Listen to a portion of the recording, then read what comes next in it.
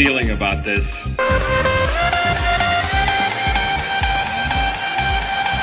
It was at this moment he knew. He fucked up.